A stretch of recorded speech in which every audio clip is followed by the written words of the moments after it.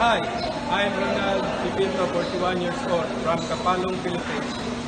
I am currently employed at Juan Mitchell as a slaughterer, the owner's last meat cutter for almost 4 years. I am willing to take the UPBI exam.